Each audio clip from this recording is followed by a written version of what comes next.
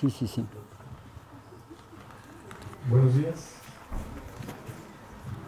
Tenemos hoy un, invitado muy especial, tenemos casa llena, me da mucho gusto ver que hay gente parada ahí atrás, ver, ver a miembros de nuestra comunidad este, eh, llenando este espacio, que eso nos da mucho gusto verlo. Y pues el motivo de, la, de esta reunión no es para menos, es tener a un invitado eh, tan especial como el padre Alejandro Solalinde, que es un, un eh, eh, digamos, un símbolo de la reflexión social en este momento que todos los universitarios y, y, toda la comunidad de, de este país está alerta y lamentando cosas que están pasando en nuestro país, que está llegando a extremos. Yo eh, quiero agradecer al maestro José Reveles, que está aquí a mi extrema derecha, que es el responsable de la cátedra la Fernando Chapa, al, doctor Gustavo Rojas, que está ahí, está ahí sentado, eh, y él es, eh, digamos, uno de los más entusiastas promotores de esta cátedra.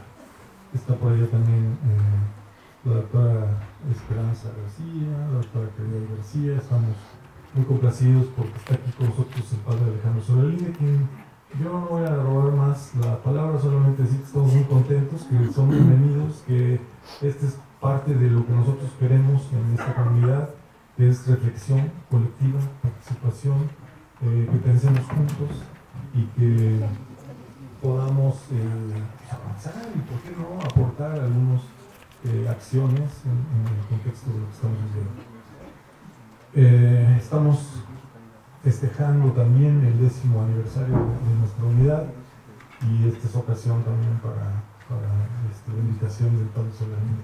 Voy a darle la palabra al maestro José Rebeles y después él a su vez le da la palabra al Padre Solaninde para que ¿Lo sacas, ¿Lo sacas o a platicar mejor? Yo más libre.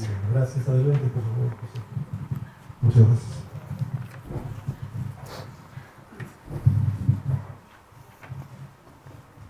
Pues eh, de alguna manera formal, hacen unas pequeñas palabras muy breves también, porque no le quiero quitar tiempo al, al personaje principal de este, de este diálogo, porque así, eh, así lo vemos como un diálogo, un intercambio de ideas.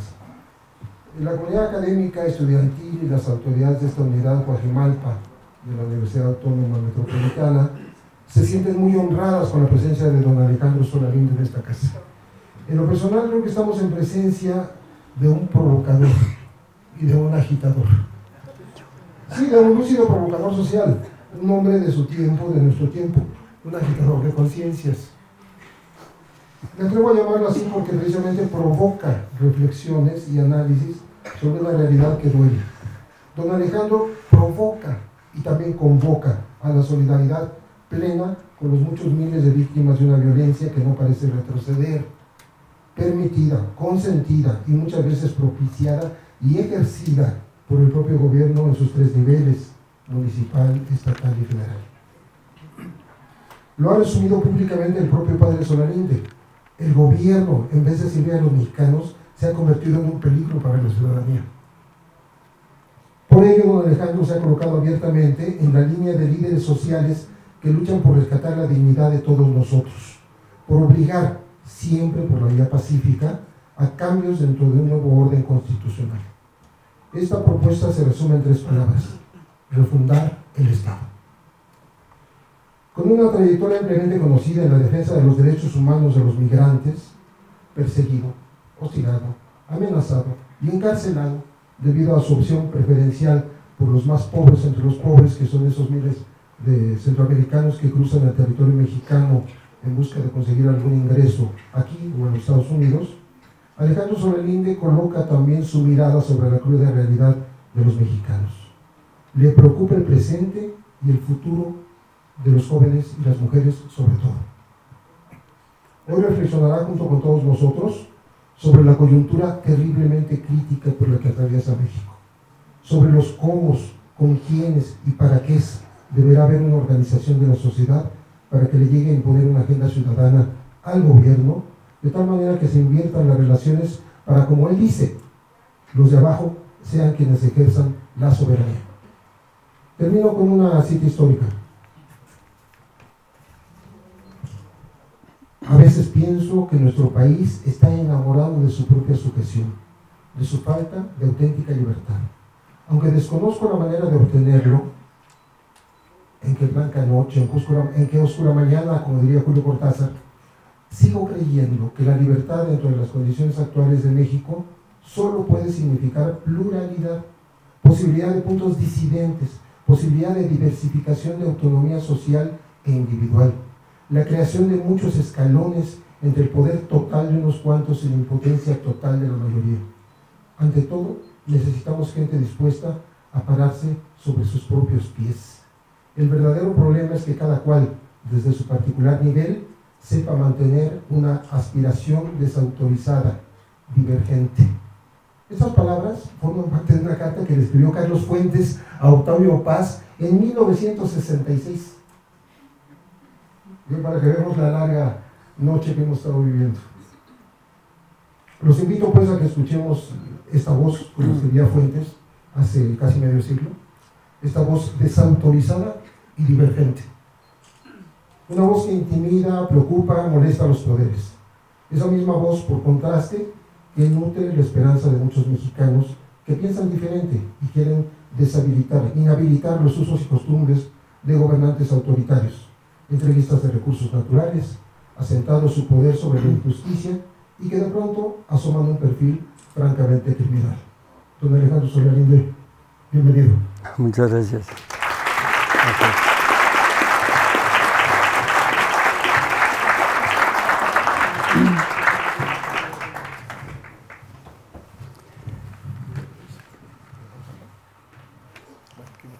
Pues más que, más que una conferencia, magistral.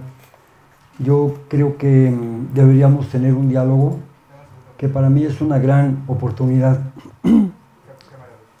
El que coincidamos nosotras, nosotros aquí, para mí es una, una gran oportunidad. Es un privilegio para mí, y lo digo sinceramente, porque estoy convencido de que cada una de nosotras, cada uno de nosotros vale mucho.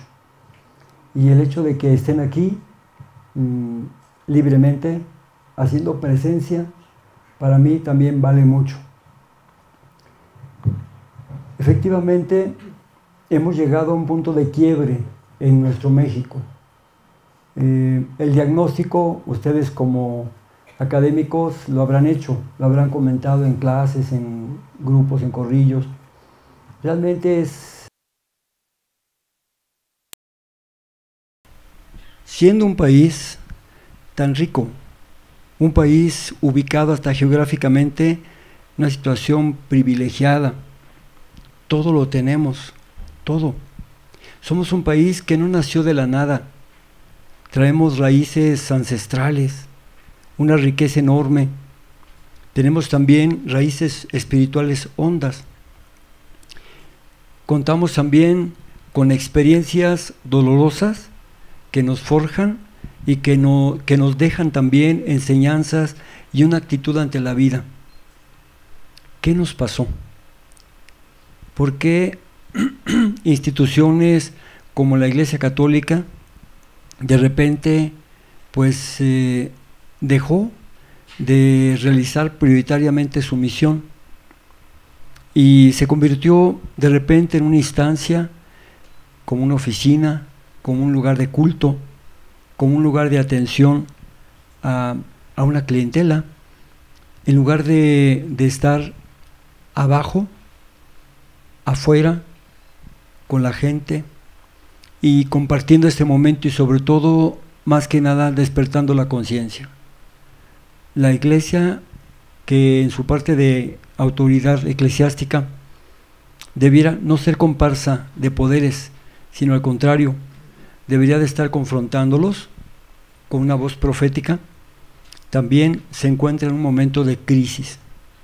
Nuestras instituciones educativas también, muchas veces la academia se ha separado de no de estar estudiando las realidades, pero de estar acompañando las realidades y las víctimas, sí. Los políticos, la clase política, también se ha ido deteriorando. Eh, hace muchos años, en, no sé, ustedes como académicos sabrán mejor, quizá en los años 40, el capital financiero pues corrompió a nuestra clase política nuestra clase política también fue corrompiendo poco a poco al pueblo y hoy pues ya la corrupción es una práctica, un ejercicio de todas y de todos. La, corrupción, la injusticia, la impunidad parecen ser como ya lo más común. El sentido común ya se nos ha vuelto como cotidiano y en realidad son supuestos, presupuestos eh, que aceptamos simplemente porque nacimos ya en ellos. La corrupción nos parece lo normal, el cinismo oficial nos parece lo normal también, las comisiones, las omisiones de las instituciones que eufemísticamente llaman debilidades, cuando que en realidad son traiciones, son claudicaciones, son abandono, de quienes debieran servir.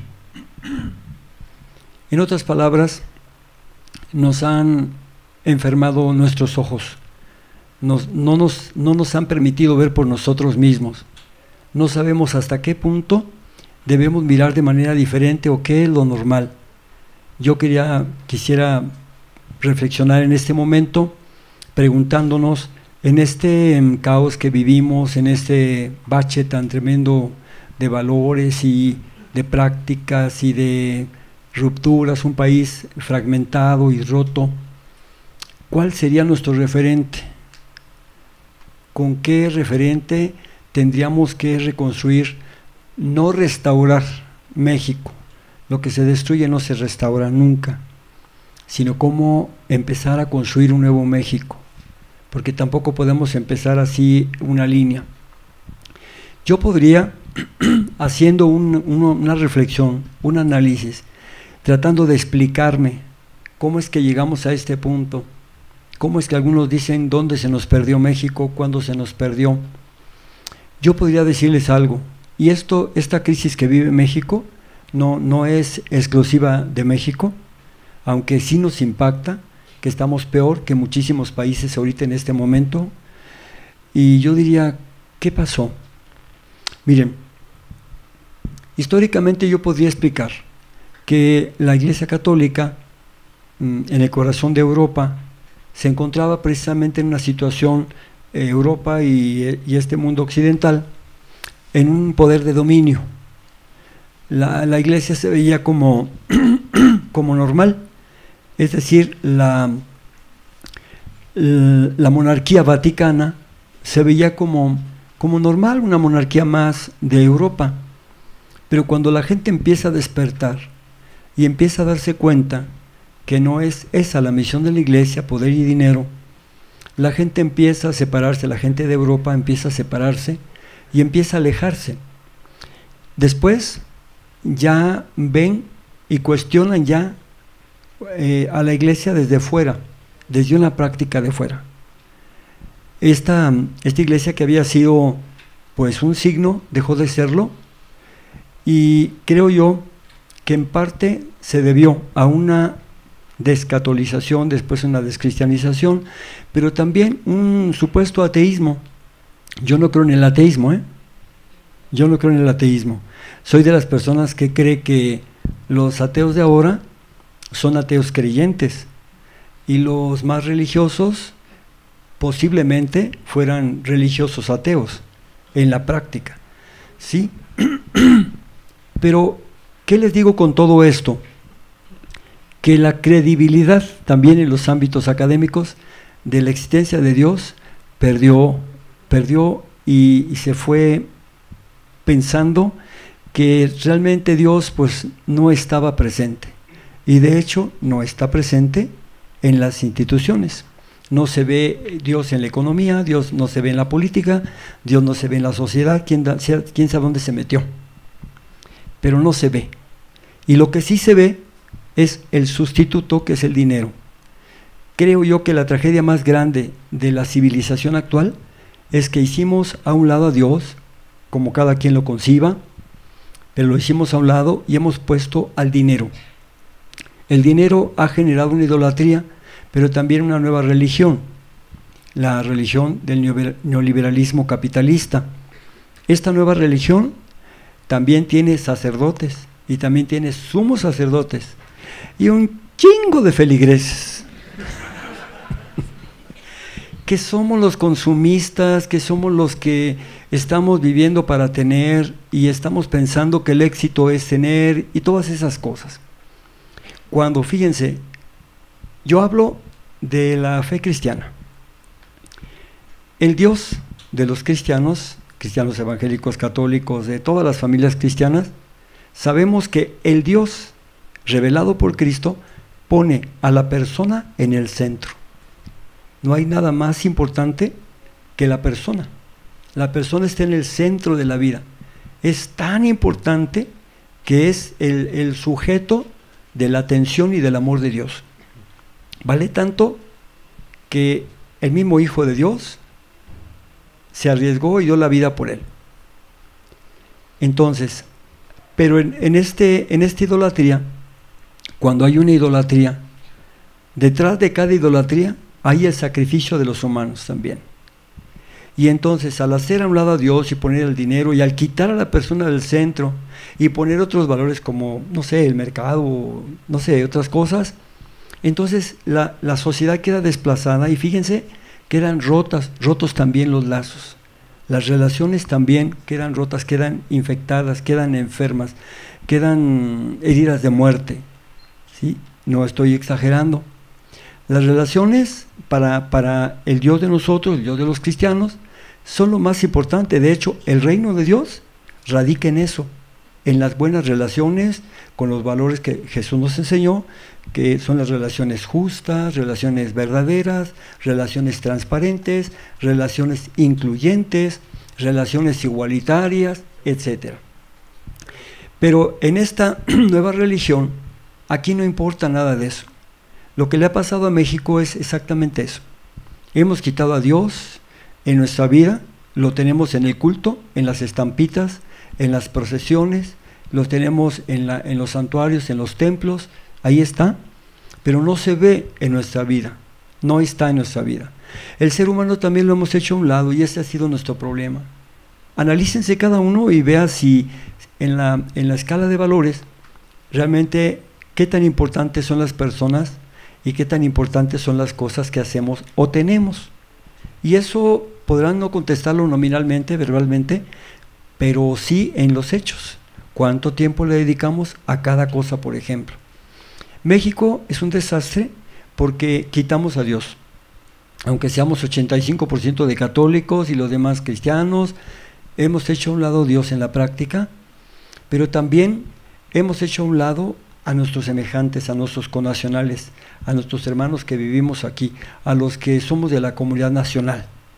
Sí, los hemos hecho a un lado. Hemos dejado que otros decidan por nosotros. Estas instituciones que se volvieron verticales como la Iglesia Católica, como el sistema político mexicano, ¿verdad? Y, mandado, obviamente, supeditado de, por los poderes fácticos neoliberales capitalistas extranacionales, esta, esta, mm, estos poderes eh, nacionales nos hicieron dependientes, nos hicieron infantiles. Nos, ¿Por qué? Porque estos poderes o son autoritarios o son paternalistas. Son autoritarios para imponernos cosas o son paternalistas para sustituirnos. ¿sí? El paternalismo es un vicio relacional que sustituye nuestra libertad, nuestra conciencia, nuestras decisiones.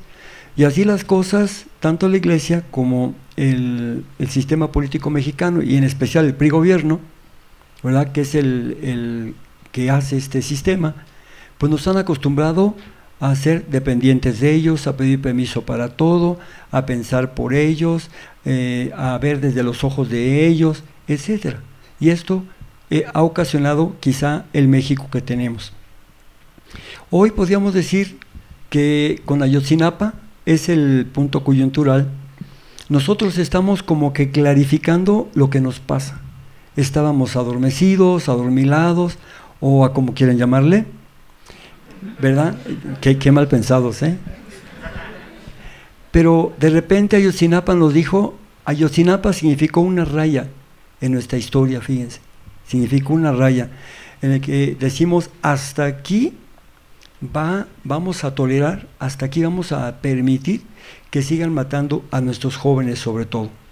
No son los únicos que están muriendo, ustedes lo saben, eh, hay muchos desaparecidos, muchos secuestrados, pero los feminicidios siguen creciendo y no hay ningún, ningún gobernador que tenga el valor de decir hay una alerta de género y vamos a ver qué hacemos.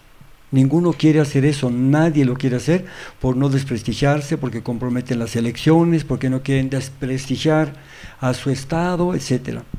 Pero las mujeres también la están pasando mal. Pero los jóvenes es un hecho que van tras de ellos. Es un hecho que está, hay un exterminio de jóvenes. Es un hecho. Vean todas las personas que, que en el periódico diariamente vemos que mueren, vean las edades. Son jóvenes. Son jóvenes. Entonces, Ayosinapa significa no que nos sorprenda que haya mm, desaparecidos. Pues ya teníamos muchísimos desaparecidos. Creo que Felipe Calderón se llevó el récord de personas desaparecidas. ¿sí? Nada más, yo he insistido siempre, a los migrantes no les hacen caso, pero hay más de 10 mil migrantes desaparecidos. Y tengo yo la cuenta y tengo los últimos, los casos de últimos desaparecidos, hombres y mujeres. Pero entonces, si no son los, primeros, y, quién sabe sean los últimos, ¿por qué tanta importancia de Yosinapa? Bueno, pues sucedió, fue un hecho. Nunca nos vamos a explicar exactamente, por más que nos quebremos la cabeza y por más razón que le pongamos, por qué exactamente, exactamente Ayotzinapa fue la gotita que derramó el vaso. Fue lo que detonó de repente esa sacudida en la conciencia nacional y también internacional. Ese Ayotzinapa fue lo que ocasionó que se cayera la imagen del de, eh, mandatario mexicano, pero también que se cayera esa imagen falsa que teníamos de México. Los zapatistas, ustedes se acordarán, en 94, primero de enero de 94, que nos bajaron a la realidad. Ya estábamos por ahí celebrando que estábamos del primer mundo, la jauja y, todo lo demás, y nos bajaron a la realidad. Hoy Ayotzinapa también nos bajó a la realidad. Ustedes se preguntarán, ¿qué nos enseña Ayotzinapa? Hay muchas enseñanzas, muchas. Para mí, por ejemplo, me enseña, me confirma, no me enseña, me confirma pues la clase de sistema político que tenemos me confirma la clase de gobierno que tenemos. Ayotzinapa es un foco grandote que revela quién es quién y las relaciones cómo están y también las complicidades, la corrupción y también las impunidades. Y nos revela que, es un, gobierno que no tiene enmienda, que no va a cambiar, que no ha tenido un, un ápice de sensibilidad o de honestidad para decir, sí, este, la regamos, nos equivocamos, vamos a cambiar no lo hay. No hay alerta de género, no hay alerta tampoco de desapariciones, no hay alerta de nada malo que pase aquí, que ahuyente las inversiones o que vaya a inhibir las, las eh, votaciones, sobre todo en este país. Entonces, ¿qué hacer ante todo esto? ¿Qué hacer? Yo podría decirles algunas pistas, algunas ideas, pero es más bien lo que yo quiero oír. Yo quiero dar tiempo para que sean ustedes y ustedes las que, las que nos digan y los que nos digan qué creen que se puede hacer. A mí me llama la atención cómo en nuestra manera de, en nuestra cultura, nuestras costumbres, eh, hacemos tanta distinción de personas. Me llama mucho la atención. A las personas que somos em, algo así como, ¿qué podría decirles? Como sui generis o o como atípicas, bichos raros pues. Nos, nos llaman personajes o personas especiales o nos ponen don. como si fuéramos extraterrestres. Y no, ¿saben qué pienso? Mi convicción más grande es que cada persona es un líder, una líder. Eso lo digo, es mi convicción. Tengo prueba de ello. Las personas, todas las personas, aun aquellas que nos parecen más insignificantes, pueden hacer cosas bien grandes y nos pueden sorprender. Si tuvieran tan solo algunas condiciones para poder lograrlo. En primer lugar, que crean en ellas mismas, que sean ellas mismas, que aprovechen las oportunidades y otra cosa bien importante, que pierdan el miedo. El miedo nos amarra, nos han educado en el temor, nos han educado en el miedo. Somos como esos mosquitos que nos metieron en un frasco y estamos volando y volando y volando y nos acostumbramos a volar dentro del espacio del frasco. Nos abren el frasquito y ya no volamos. ¿Sí? Así, así nos han acostumbrado con el miedo, nos han domesticado, nos han amaestrado nos tienen en el, temor para que no hagamos nada, para que no perdamos oportunidades, para que no arriesguemos nada. Y así no se puede. No puede haber un, desarrollo de un liderazgo que cada quien lo tiene, porque cada quien es una, una persona original, si no perdemos el miedo. Y luego también yo quería decirles un referente, ¿no? ¿Qué referente tomar? Pueden tomar un pensador, alguien de alguna época, se vale Siempre aprendemos, yo me siento orgulloso de mis hermanos y hermanas que nos antecedieron, de la época que sea, de la cultura que sea, y aprendo de ellos. Y cada libro que yo leo, para mí es como un encuentro, es como un diálogo, y, me apersono con ellos, y dialogo, y escribo en sus libros, y comento y aprendo como, como para mí que son personas vivas, porque su testimonio que nos dejaron está vivo. Pero ¿Habrá un referente mejor? Yo se los quiero decir, para ya dar paso a, preguntarles a ustedes qué podemos hacer. En lugar de yo decirles, ¿saben qué? Como una receta de cocina, pues vamos a, vamos a hacer esto. No, yo les voy a decir al revés, ¿qué podemos hacer? Para mí, el referente es Jesús. ¿Sí? Y siento mucho orgullo de decirlo en esta universidad, pero no no el Jesús oficial, no el Jesús estampita, no el Jesús que, es de las pinturas, no el Jesús de Hollywood, no el Jesús que está en un catálogo para que cada quien escoja, como muchas veces algunas experiencias religiosas lo tienen, sino un joven, un joven increíble, un joven maravilloso, un joven valiente que se preparó 30 años. Eh, el Evangelio de Marcos es el más cortito, pero es el que nos presenta siempre a un Jesús, un joven Jesús en camino y un joven Jesús en conflicto. Y un joven, fíjense, por lo que decía mi amigo Pepe, eh, que eso tiene mucha razón, sí soy un agitador de conciencia, yo lo reconozco delante de ustedes y no voy a tener enmienda. Fíjense que este joven eso hacía, se preparó 30 años, eh, en unas condiciones que habría que ver, eh, analizar el siglo I en Palestina. Terrible, terrible. Grupo de poder, eh, rechazo unos con otros, una fragmentación impresionante, búsqueda de poder, búsqueda de dinero, un salvajismo, la persona vale es mercancía, ¿verdad? Igual que hoy, nada más que de una manera más, más este, obvia.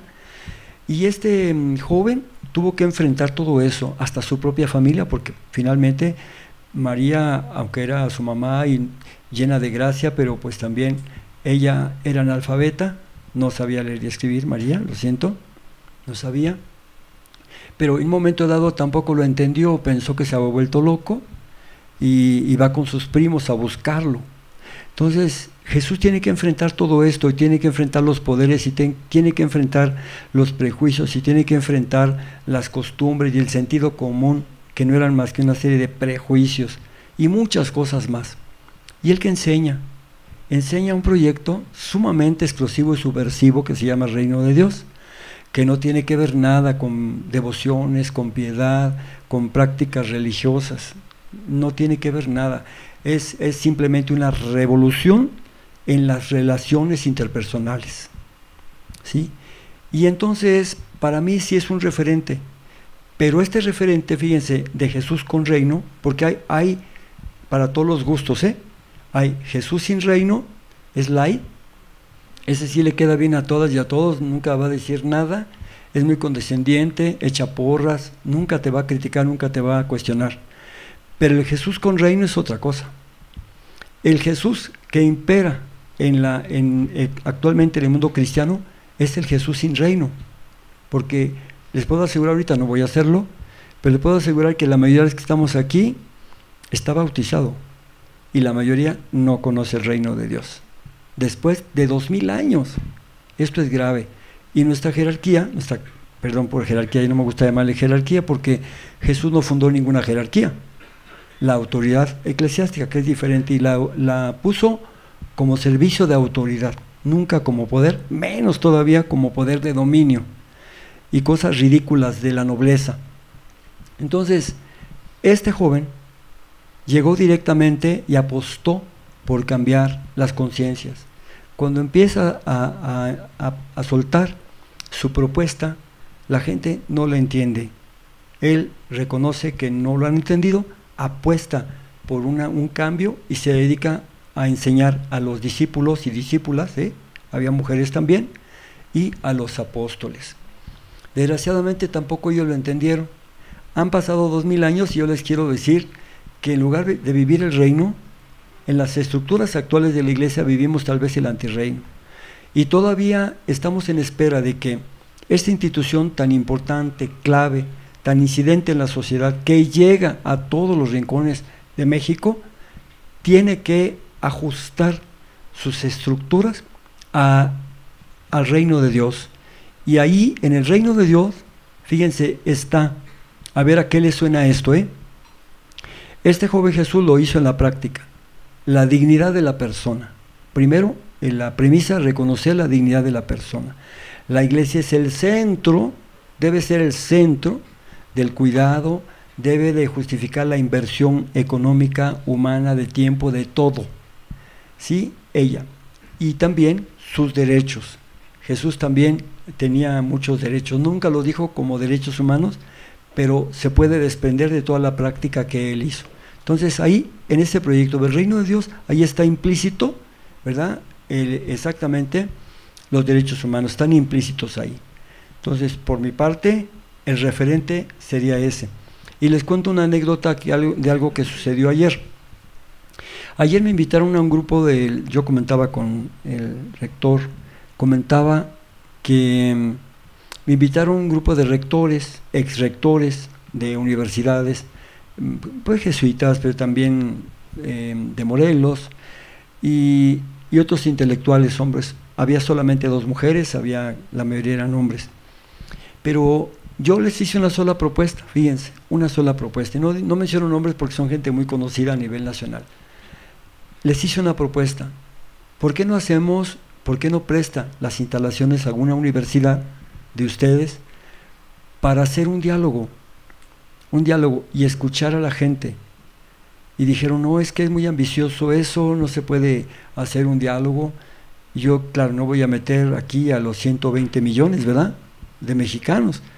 Pero al menos escuchar a algunos de los líderes, de las líderes, que están en diferentes lugares, al menos sí escucharlos. Y como que me dijeron, como le dijeron a Juan Diego, ¿verdad? A Zumárraga, ah, sí, ah, sí, desaparición, ah, sí, mira, de eso me vas a venir a contar otro día. ¿Sí? Yo aquí le quiero dejar para que dialoguemos, para que platiquemos. Yo solamente eh, suscité alguna reflexión de ese universo que podíamos haber platicado, pero si hay algo que ustedes consideran que pudiéramos platicar, lo platicamos. Yo termino con esta pregunta. De la situación que ustedes ven en México, de la situación como la ven, ¿cómo creen que le pudiéramos hacer? ¿Cómo poder, no restauraré, que quede claro, yo no soy restauracionista y tampoco soy reformista, no soy parchero. No, yo pienso que hay que empezar algo nuevo, Jesús, este joven, era muy claro, decía, no, no se anden con parchecitos nuevos en telas viejas, o no anden echando vino nuevo en vasijas viejas, porque las dos cosas se echan a perder. No, había uno nuevo o tres nuevos. Entonces, ¿cómo poder empezar a refundar México? ¿Cómo le podemos hacer? Ustedes tienen la palabra.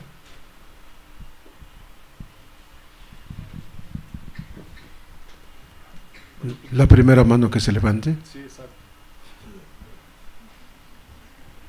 ¿Sí hay atrás? Y también se van a hacer preguntas si quieren. Sí.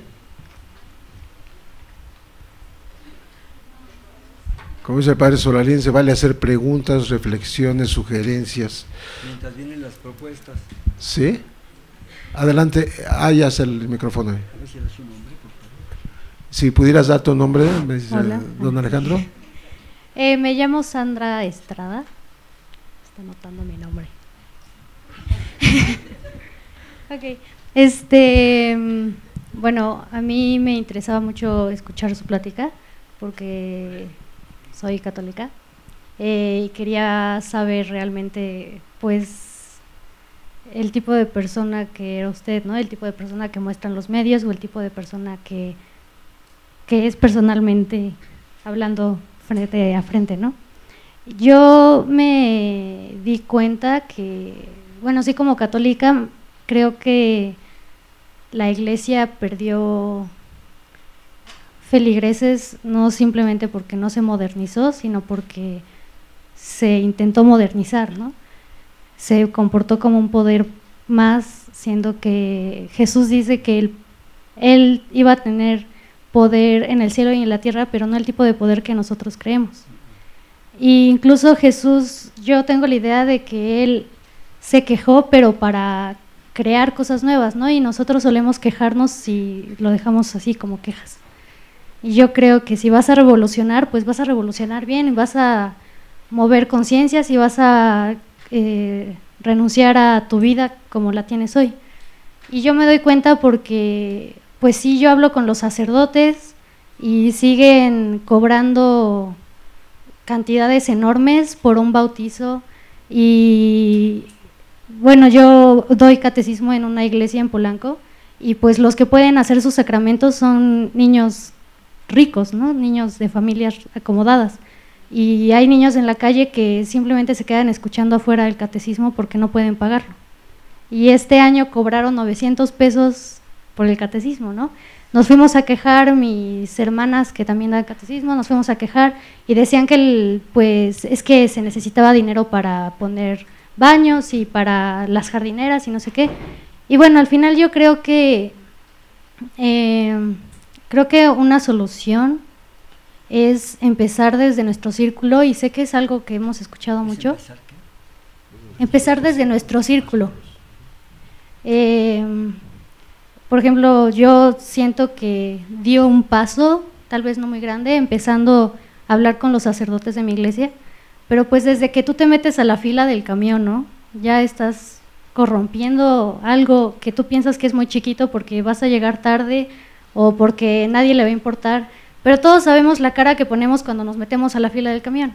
Ignoras a los de atrás y te pones a platicar como, ay, sí, qué chistoso.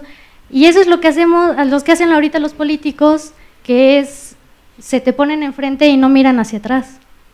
¿Y por qué nosotros nos comportamos así, no?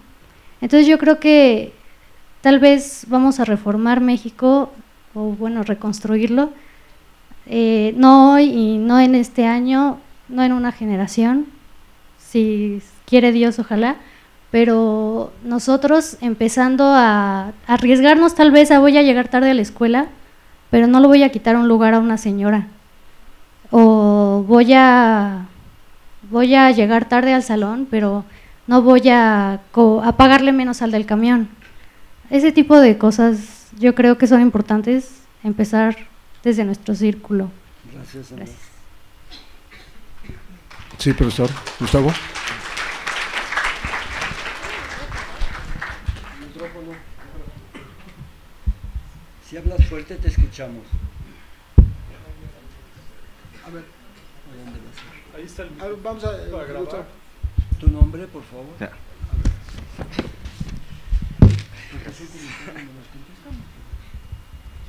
Eh, buenos días, me llamo Mario y soy estudiante de comunicación aquí en la Unidad Coajimalpa. Eh, lo que más bien, lo que yo tengo más bien son dos preguntas para usted, padre. Este, la primera, este, son dos nada más. La primera, mm, históricamente creo que todos podemos estar de acuerdo con reflexionar y afirmar que el Estado, bueno, que el Vaticano siempre ha estado del lado del opresor, del lado que oprime, del lado del sistema. Me gustaría saber qué le han dicho del Vaticano, si no es que, para no decirlo así, em, le han jalado las orejas, no le han dicho, este, ya no de revoltoso padre o algo así. Y la segunda, em, sobre refundar el Estado, mm, ¿usted le parece que sea posible hacer esta transición sin derramamiento de sangre y sin una revolución armada de por medio? Muchas gracias. Gustavo. Acá, pasas el micrófono para acá, le habían pedido la palabra antes. Si quieres, pásenlo así. Así, mira, así como viene. Gracias. Es nomás uno, ¿verdad? Sí, parece que sí hay otro. Con ese es suficiente, nada más se lo pasan rápido. Sí.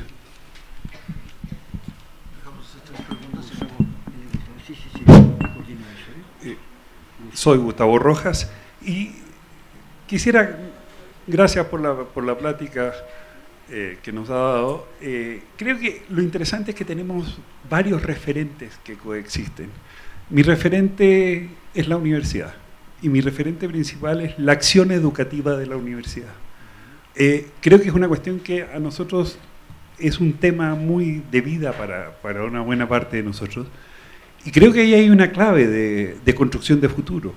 O sea, todo futuro que podamos construir para el país pasa por la acción educativa de sus instituciones, de sus instituciones donde está el saber, donde está eh, el conocimiento almacenado y cómo eso se irradia y cómo eso educa y cómo eso forma y abre nuevas perspectivas. Creo que hoy día construir ideas, valores críticos, pensamiento crítico es una cuestión eh, clave y muy importante y convergemos desde distintos referentes. yo sugiero dejar esta ronda de preguntas para no hacerlas demasiado largas y después reabrimos más. ¿Sí? Tiene la palabra don Alejandro. Bueno, a Sandra, muchas gracias. Em, sí, yo estoy de acuerdo en que hay que mover conciencias y no manipular personas, que es lo que han hecho con nosotros. Nos han manipulado, no nos informan, no nos dicen, y hablo en general. Yo quiero mucho a la iglesia, Sandra, la quiero mucho, pero ¿sabes por qué la quiero mucho? Porque es, em, porque es iniciativa de este joven que yo quiero tanto y que admiro y que creo en él y su reino. Pero no la acepto como es, porque la historia de la iglesia nos ha enseñado que Jesús no fundó ni jerarquías, ni tampoco fundó Estado del Vaticano, y tampoco una, una dinastía real. Eso no lo, no mostró. Entonces, Desgraciadamente, seguimos viviendo, no importa que aquí en México no haya monarquías, en América, pero tenemos, eh, heredamos ese, ese pedigrí, ¿verdad? Lo heredamos de, Europa y, y, los obispos de aquí son buenas personas, pero ya nacieron, ya los consagraron en una situación privilegiada en donde hace, se puede hacer esas distinciones. Tú mencionaste algo que para mí es preocupante. El hecho de, darle tanta importancia al, al, catecismo antes que la Biblia, híjole, eso me duele, eso es preocupante, porque nosotros somos gente adoctrinada, gente barnizada, pero no somos gente de Biblia, no lo somos. Si lo fuéramos, a lo mejor cada mañana un chavo, una chava, estarían viendo de voladita ahí en sus celulares, ¿eh? ahí está, la lectura del día y están en sus celulares, estarán viendo qué dijo Jesús, qué hizo Jesús, qué hizo ese joven, por ejemplo. Entonces, hay mucho que hacer, hay mucho que este, transformar desde ahí. Hay que comenzar eh, desde nuestros círculos, estamos de acuerdo en eso, que tenemos que ser muy inductivos, desde, no sé si se le pueden llamar mm, comités ciudadanos, consejos ciudadanos, eh, asambleas populares, eh, comités de barrio, llámenle como les llamen, la nueva formación tiene que ser inductiva y tiene que ser de abajo hacia arriba. Ya no de arriba hacia abajo, porque si viene de, de abajo hacia de arriba hacia abajo, ya viene contaminada. Contaminada por esa relación de poder y poder dominante. Yo quiero decirle a Mario que mm, efectivamente el, Vaticano eh, sí se desvió. Eh, la, Iglesia Católica sí se desvió y se desvió desde hace 800 años con em, Gregorio VII, pasando por el Papa más poderoso, que era un chavo, fíjense, un joven, ¿eh?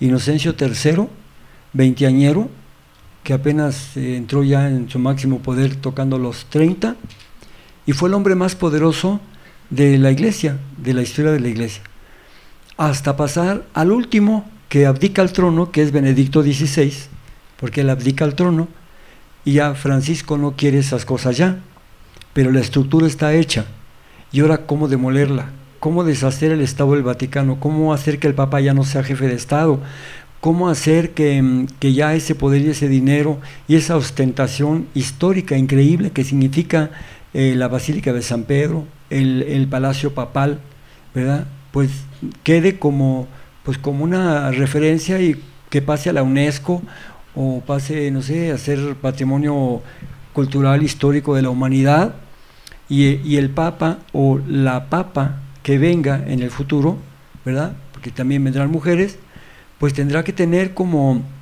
como subsedes en los continentes para andarse movilizando de veras. Obviamente tendrá que ser un papa muy joven o una mujer joven papa también para desplazarse y empezar a revisar el estado de misión y revisar el estado de justicia, porque Jesús, este joven, nunca nos mandó a hacer otra cosa más que la orden fue, busquen primero la prioridad, el reino de Dios y su justicia. Todo lo demás es añadidura. Entonces, yo creo que sí, el Vaticano ha sido comparsa en turno y por eso le ha ido muy bien, por eso está como está. Conmigo, ¿qué han hecho? Bueno, mm, yo he luchado durante muchos años, desde que me empecé a formar, por ser yo mismo. Perdí el miedo, ¿sí? A yo mismo. Y me acuerdo que me decían, no, Solalinde, tú no digas lo que piensas porque no te vas a ordenar. Mejor aguántate ya que te ordenes, ya entonces hablas todo lo que quieras. Yo le dije, no, porque si ahorita yo no puedo hablar por ordenarme, cuando ya yo sea sacerdote no voy a hablar porque quiero ser obispo. Y cuando soy, ya, ya soy obispo no voy a hablar y me voy a callar porque quiero ser papa. Entonces no, creo que se arriesga desde un principio se cuestiona desde un principio y se entra en una dinámica de cambio. Eh, no sé qué hubiera pasado si hubiera seguido Benedicto XVI y hubiera estado esa mafia que estaba en la curia, una mafia corrupta, no sé qué hubiera pasado. A lo mejor hubieran intentado excomulgarme, pero como me preguntó un día una periodista a mí, ¿y qué pasa si lo excomulgaran? Excomulgar es que te corran de la casa. Yo le dije, pues no me pueden correr, porque es mi casa.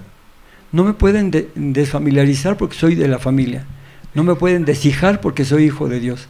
Y no me pueden correr porque, a ver, me voy, pero el que me enseñe en la iglesia quién tiene la factura o el ticket de compra, el que lo tenga, yo me voy. Pero como no lo tienen, me quedo.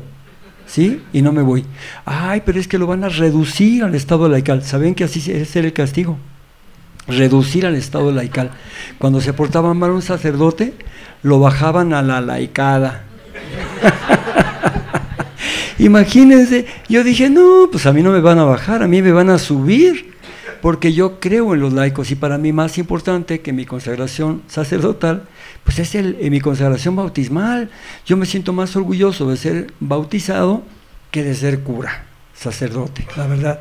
Entonces, Tuve problemas con, con mi obispo, con los dos anteriores. Eh, el, primer, el último, que yo tuve el, anterior, creo que acabó respetándome, pero el otro, pues igual. No, no hubo más remedio después de unos agarrones mediáticos, porque así fue, él, lo empezó, creo que fue entendiendo, no sé si alguien le dijo no, no te pongas con el padre Solalinde, no sé qué. El caso es que ahorita nos llevamos bien, creo que ya somos buenos amigos, platicamos de tú a tú. Y yo creo que ya lo peor, lo peor para mí ya pasó. Eh, hace unos días le preguntaron al presidente de la Conferencia Episcopal Mexicana, eh, el cardenal este, Francisco Robles Ortega, le preguntaban, oiga, ¿y, qué, qué, piensa de lo que está haciendo Raúl Vera y el padre Solalinde? Y él dijo, palabras más, palabras menos, dijo, nada de lo que están haciendo ellos está en contra de la Iglesia Católica.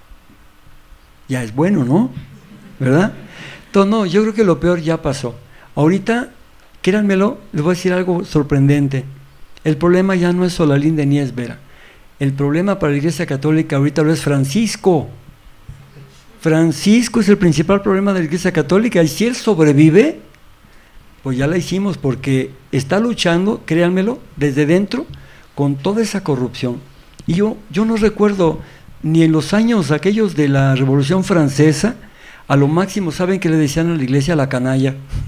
Así le decían los, los, los que fueron revolucionarios, pues eh, los intelectuales, ¿no?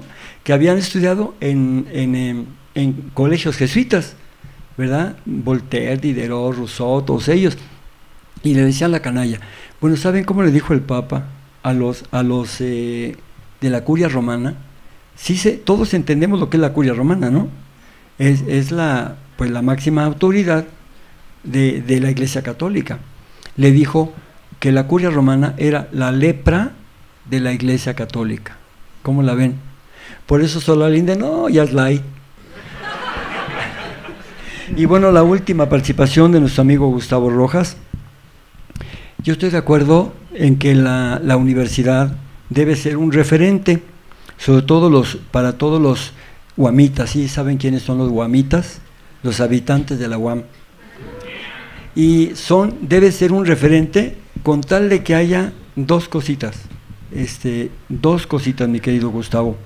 La primera, que, de verdad se genere una conciencia solidaria, humana, eh, que esté centrada en los derechos humanos, en la dignidad de la persona. Sí, sí, eso. Y no esté al servicio del capital. Yo sé que es imposible zafarse totalmente del capital, pero de eso a estar formando para el mercado es otra cosa. ¿Sí? Y lo otro, y creo que es muy importante, la teoría es muy buena, pero también si no está cimentada en la práctica, en la realidad no es. Este joven Jesús era bien abusado.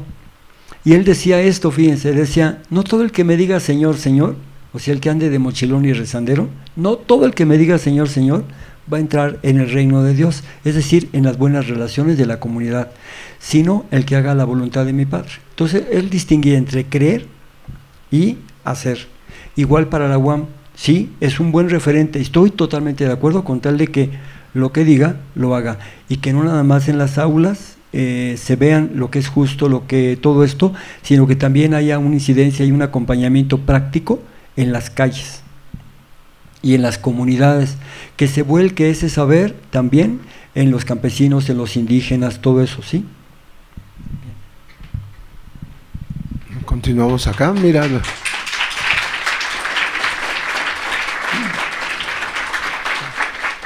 Justamente un comentario muy breve, justo el padre Solén ya había dicho antes que el, uno de los grandes problemas del autoritarismo es que se apoderaron de nuestros ojos, no nos dejaron, no nos acostumbraron a mirar con nuestros propios ojos.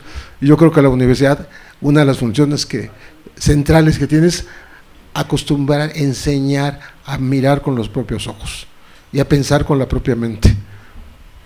Adelante. Muchísimas gracias por estar aquí con nosotros. Eh, creo que a todos nos hace mucho bien escucharle eh, acá. Eh, mi nombre es Miruna, soy profesora de un Departamento de, de, Humanidades.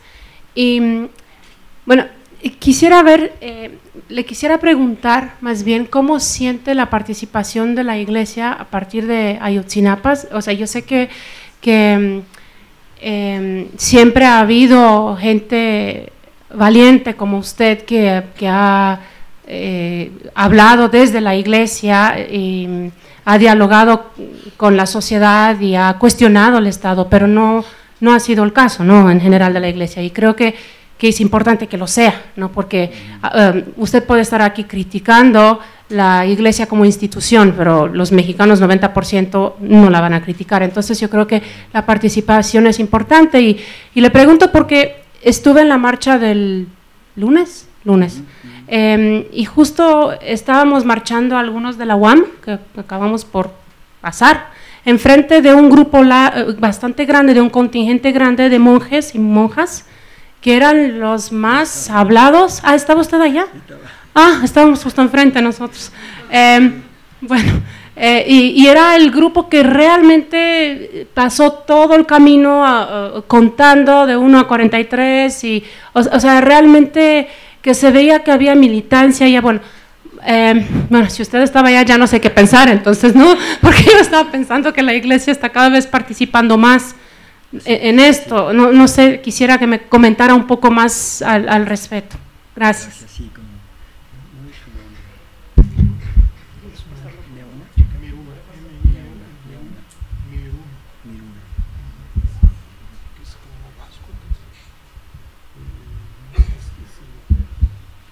Hola, yo soy Hugo Chamorro, estudio comunicación y bueno, yo lo que quiero, bueno, regresar es a la discusión sobre qué hacer para resolver esto. Bueno, yo no estoy seguro de que sea tan posible abolir este sistema que tiene tantos años y está tan arraigado en nosotros, incluso culturalmente.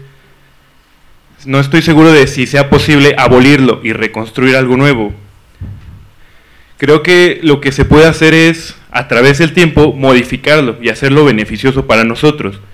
Y tampoco creo que sea mediante la el portarse bien uno mismo, o sea, que decir, el cambio está en ti para que México cambie, porque no es así. O sea, yo no le voy a quitar su asiento a las ancianas, no voy a tirar basura en la calle, voy a separar mi basura. Eso no me va a dar más derechos civiles, no me va a poder este, dar un mejor sueldo cuando trabaje, Creo que lo que tenemos que hacer es exigir, exigirle al gobierno, que es nuestro deber y lo que tenemos que hacer. Eh, pero el problema y lo que yo no sé, y es lo que quisiera que todos nos pusiéramos a pensar, es cómo exigimos, cómo hacemos que el gobierno nos responda, que nos haga caso. O sea, más allá de las marchas, más allá de hacer, este, no sé, uh, acciones en conciencia dentro de las escuelas, ¿qué hacemos que realmente pueda incidir políticamente dentro de la sociedad mexicana? Yo creo que, bueno, eh, por mi parte, como estudiante de comunicación, lo que yo tengo que hacer es exigir la apertura de los medios de comunicación, porque es en los medios de comunicación donde se construye la esfera pública y de donde viene pues la idiosincrasia de toda la sociedad y es desde ahí de donde podemos llegar a la sociedad para que la sociedad se preocupe y atienda a los problemas y exija. Bueno, creo que esa es la función que nosotros como comunicólogos debemos hacer. Pero ¿y los demás qué? ¿Qué hacemos? Es lo que quisiera que todos nos pusiéramos a pensar. Y bueno, pues es todo. Gracias. Ahí, luego la compañera, ahí mismo. ¿Qué tal, padre? Buenas tardes. Mi nombre es Abraham Flores, soy estudiante de Tecnologías de la Información. Eh, yo quería preguntarle sobre el, más de estos 10.000 migrantes desaparecidos. Este, no sé, en los noticieros, incluso en los más críticos, se aborda pues el tema pues desde el punto de vista del horror humanitario, que es un horror realmente, pero uno se pregunta qué, qué es, cuál es el destino de todas estas personas desaparecidas. Eh, mm, siguiendo el hilo de la información, eh, la cola de rata, como le llaman los periodistas de investigación, resulta que hay intereses económicos detrás de esas desapariciones. Entonces, bueno, supongo que deben ser muchos factores, pero uno de ellos es que em, hay empresas que se sirven de este tráfico de personas con tal de ganar dinero y no pagar nada, ¿no? Entonces esto revela un esquema moderno de esclavitud. Entonces mi pregunta versa sobre eso. ¿Qué opina usted al respecto? Creo que cabe una pregunta más, si acá la compañera. Gracias, yo soy Fernanda Vázquez del Departamento de Ciencias Sociales y bueno, mi pregunta va ligada, a, creo que adelante también preguntaron sobre, sobre la violencia. El 22 de enero en los medios de comunicación eh, circuló que el padre Solalinde estaba llamando a la sublevación, porque, y cito, eh, estaba diciendo que le digamos al, al Estado, al gobierno, que si vuelves a desaparecer a un estudiante te vamos a reventar.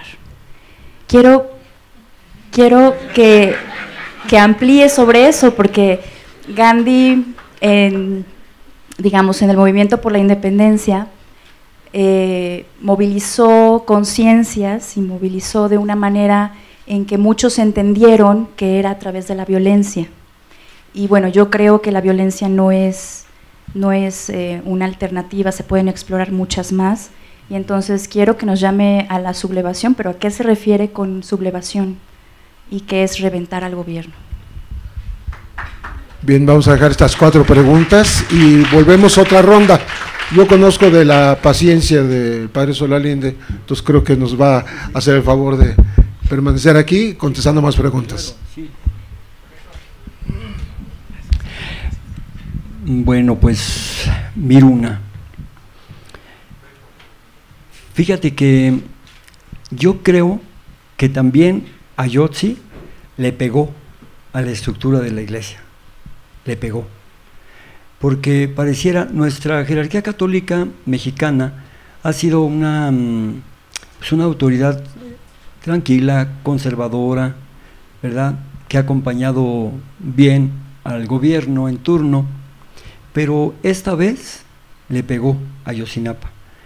Le pegó por dos razones, por el hecho de que fue impactante lo que sucedió con los estudiantes, pero también porque nos, nos mataron, nos asesinaron a ocho sacerdotes y dos están desaparecidos. Le pegó porque si eso hubiera sido, si al padre Solalinde le hubiera pasado eso, no sé, hace cinco o seis meses, pues no hubiera pasado nada. Pero sucede que el último sacerdote que mataron, el padre Goyo, ¿verdad?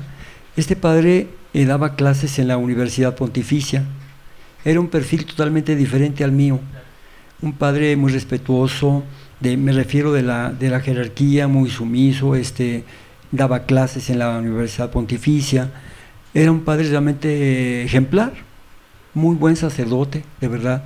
Y, también eh, hablaba claro, y empezó a enseñar cosas en las clases y también cuando iba a Ciudad Altamirano, donde estaba, también empezaba a cuestionar la corrupción y todo lo que había ahí.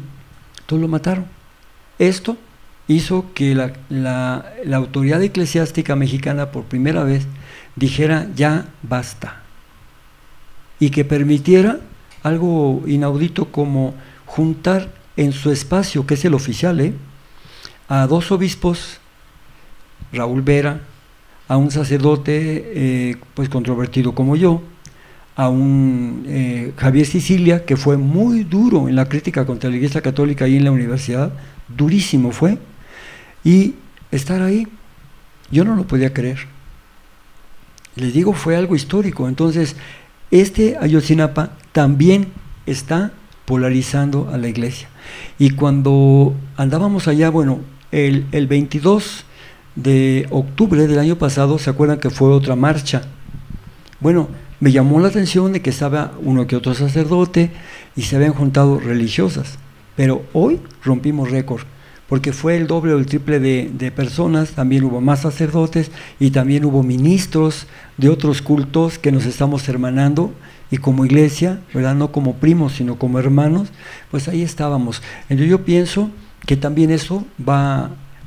Dos factores han, han cambiado o han empujado a la Iglesia Católica a cambiar. Uno fueron los migrantes, fueron los migrantes porque eh, obligaron a la jerarquía católica a este, abrirse y tener que hablar. Y la otra es Ayotzinapa. Voy con Hugo.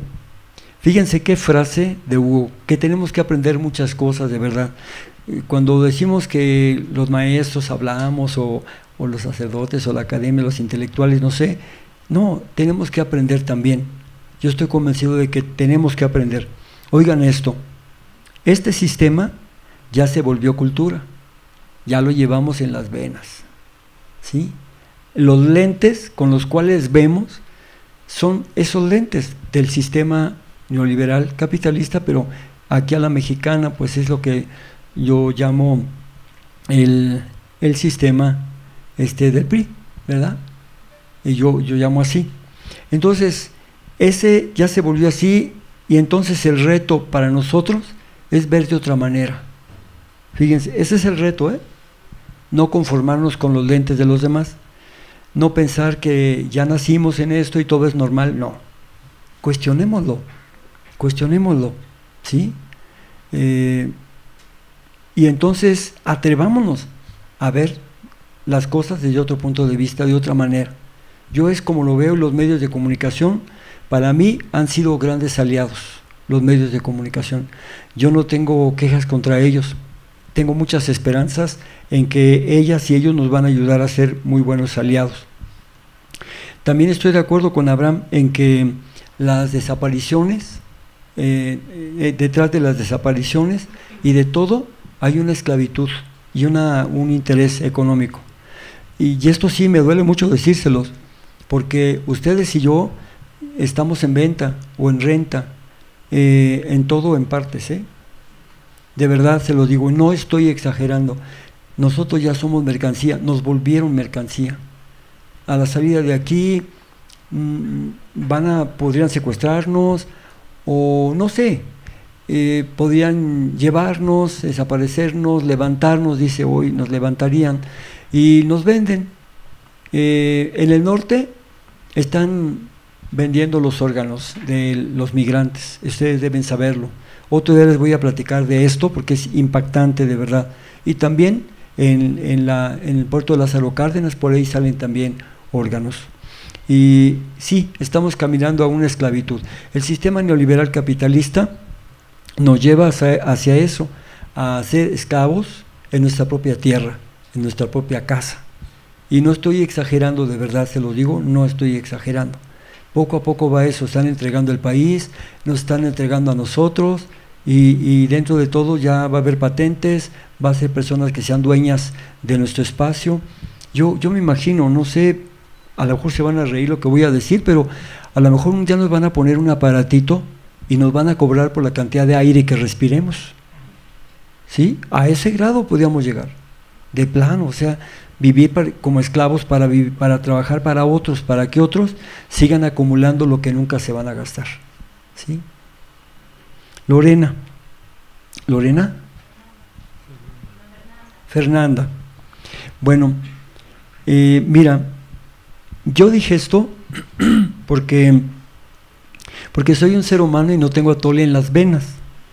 Y porque me da mucha rabia, mucho coraje lo que está pasando con las mujeres y los hombres.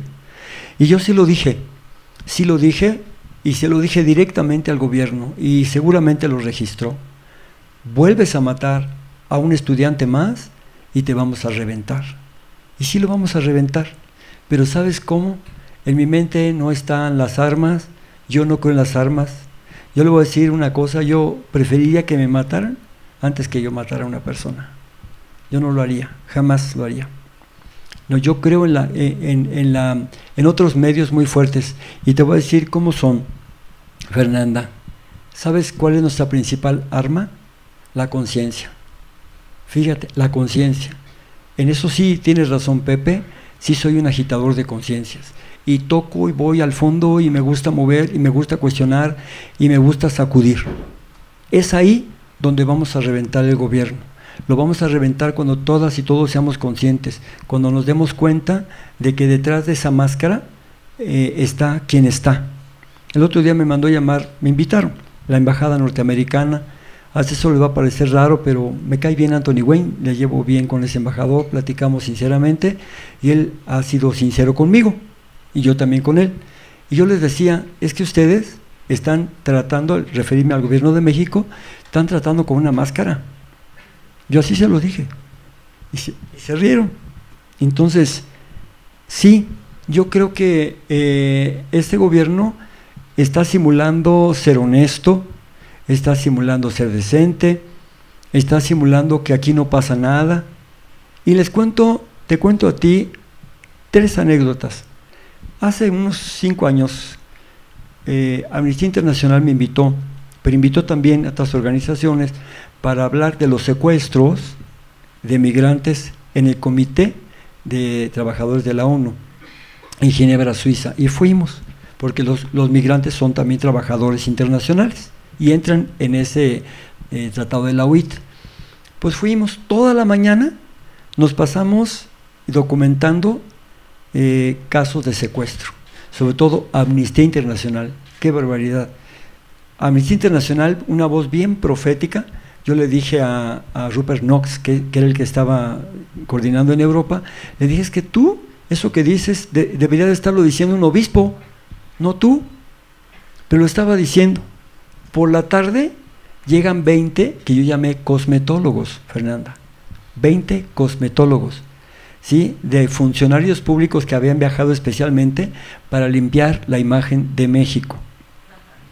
Pasaron los años, el año pasado volvió otra vez a, a, a, a la Evaluación Periódica Universal, que le hacen a México el Comité de la ONU, ahí mismo en Ginebra, y esta vez fue contundente la, acusación de amnistía y de otras organizaciones, una investigación impecable, y esta vez no fueron 20, fueron 40 cosmetólogos los que mandó, pero el, el, el, cuadrigésimo fue ni más ni menos que nuestro ombudsman.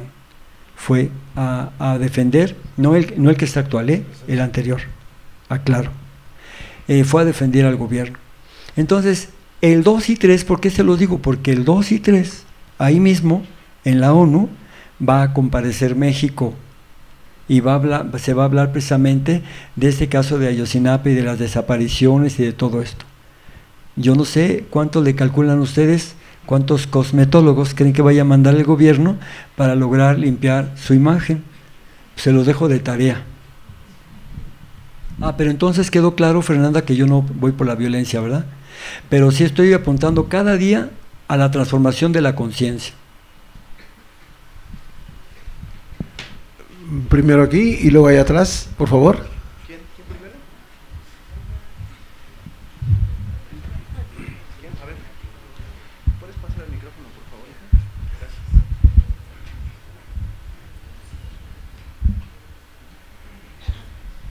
Gracias. Primero, mi admiración y respeto por todo lo que hace. Soy Claudia Díaz, profesora también de aquí de la UAM, este, Coajimalpa. Este, dos cosas nada más, padre. La primera, desde su punto de vista, como, bueno, primero un alivio ver también este, que no, no le interesa la parte de la violencia, porque me parece también que en este clima que tenemos ahora, de crispación, de tristeza excesiva por lo que ocurre en todos lados, este, también es probable que surjan estos grupos radicales que desbaratan las cosas sin llevarlas hacia, otra, hacia otro lado más provechoso, ¿no? Pero bueno, a mí lo que me gustaría preguntarle es, bueno, además de nuestro papel como universitarios, ¿de qué manera podríamos estar más cerca de su casa de migrantes, de las labores que hace? Eh, porque tenemos, bueno, lo que más tenemos nosotros es recurso humano. Yo estaría segura que muchos estudiantes podrían dedicar tiempo como servicio social en muchas funciones para apoyar el trabajo que usted está, haciendo en la Casa de Inmigrantes, por ejemplo, y en muchas otras cosas. Y la otra cuestión, a mí me gustaría que abundara más en esta idea que tiene de no, no al reformismo, vamos a reconstruir. ¿Qué significa esto? Porque si estamos hablando de cambios pacíficos, bueno, hay mucha gente valiosa en muchas instituciones y yo digo, bueno, vamos a acabar con la UAM Coajimalpa o con la UAM en general, con las universidades. Creo que tendríamos que estar más cerca, por ejemplo, de las normales, vigilando que el gobierno gastara recursos, porque yo sé que las condiciones, la infraestructura de todas las instituciones de la Tierra Caliente, por ejemplo, pues distan mucho de todo lo que nosotros tenemos aquí en el Distrito Federal. Entonces me gustaría saber más cuál es su idea, pues, de de no ser reformista y reconstruir, a qué se refiere en específico y cómo podríamos ayudar en ese terreno como profesores. Gracias. Gracias a usted. Sí, allá el compañero.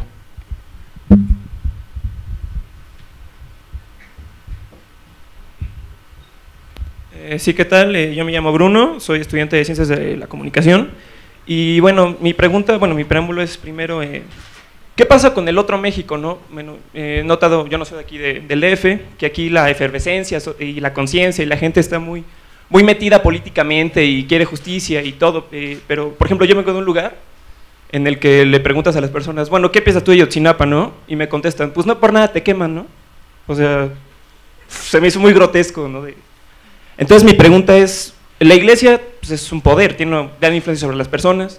Eh, yo he notado que, como dijo mi compañero Hugo, que eh, los medios de comunicación tienen una gran influencia sobre el criterio de estas personas. Eh, y a final de cuentas, ¿qué pasa con el otro México, no? que está pues, adormilado? ¿no? Como insisto aquí en el DF, todos están pues, muy conscientes. Y bueno, ¿qué, ¿qué propone la iglesia para concientizar o qué pueden hacer ustedes como institución? que tienen tanta influencia sobre las personas para que la gente despierte y diga, es que esto no, no es posible que esté pasando, ¿no? que no te respondan así como no por nada te queman vivo. Y esa es mi pregunta. Sí, aquí, el micrófono.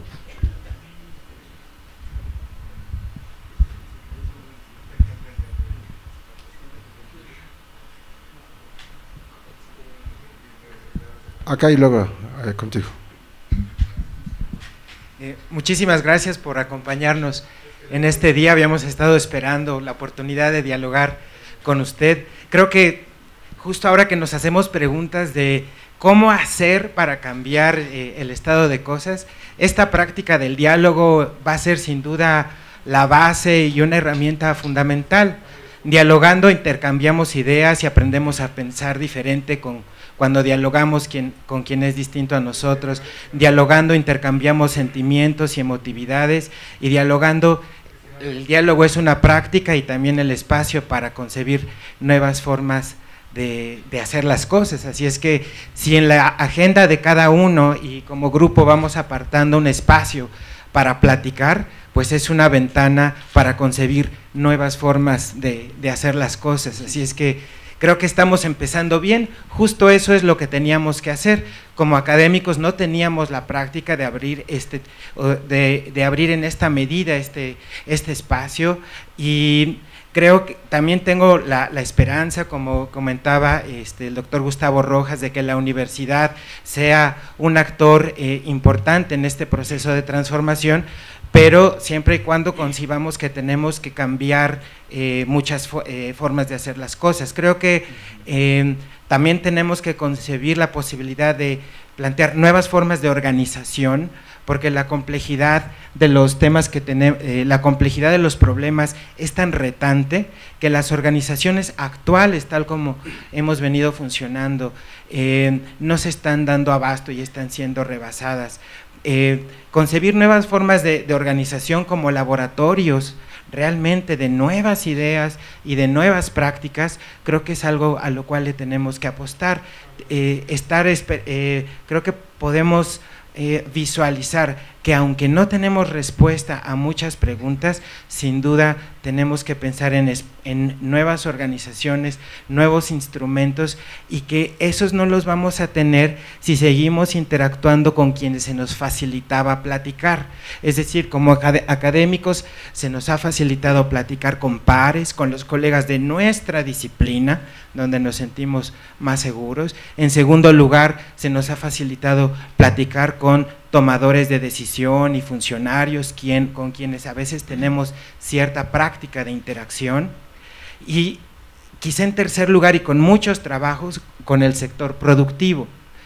Pero los que no han aparecido en nuestra agenda de diálogo como académicos son sectores sociales importantísimos cuya visión del mundo es tan diferente que creo que podrían aportarnos mucho se nos ha dificultado hablar con quienes eh, tienen eh, capacidades diferentes o algún tipo de discapacidad, se nos ha dificultado hablar con grupos indígenas, se nos ha dificultado hablar con este, eh, obreros, con transportistas, con tianguistas, que sumados componen el grueso, el grueso del país. Y, si, si, el, si el cambio va a estar, digamos, en las masas, en el pueblo, en la sociedad, sin duda su opinión, su reflexión y lo que ellos nos pueden aportar a nuevas formas de concebir el mundo va a ser diferente. Por eso haciendo esto un poquito, un poco, algo de autocrítica, creo que si aprendemos a hablar con esos, esos sectores, creo que vamos a aprender mucho de ellos para bajarle a nuestra soberbia como académicos. Una pregunta más para esta ronda. Allá este, había pedido la mano, eh, levantado la mano primero él. Después vamos contigo. Buenas tardes, Padre Solalindo. Gracias por venir. Eh, bueno, no soy religioso, pero usted tiene que conocer esto, yo sé que sí. Jesús dijo, yo soy el camino, la verdad y la vida. Yo soy la roca firme yo soy la rosa de Sarón, el lirio de los valles, y nadie viene al Padre sino por mí. La pregunta aquí, más allá de qué nos pasó, es qué pasó a, lo que a los que les pasó ese algo que les pasó. Ahora la cuestión está, aunque sí realmente suena un poco eh, gracioso, satírico, incongruente hasta cierto punto, pero la cuestión es sí, si tomamos a Jesús como referente, ciertamente eso es una parte de integridad. La pregunta es cómo se va a predicar, nótese o entiéndase predicar no como algo eh, religioso, sino como algo de enseñanza. ¿Cómo lo va a enseñar? ¿Quién lo va a enseñar? ¿Cuánto tiempo va a tomar para ser realmente enseñado de la forma en que tiene que ser hecho? Sin tergiversar información, sin manipular información, yendo directamente a lo que se conoce como yo predico lo que vivo porque vivo lo que predico. Entonces, la pregunta es, ¿quién lo va a hacer? ¿Cómo lo va a hacer? ¿Y cuánto tiempo demora? Gracias. ¿Ahí te parece bien, Alejandro? ¿Con esas cuatro preguntas ahora? Como quieras. Sí. para... A ver. Acá adelante y ahorita vamos allá.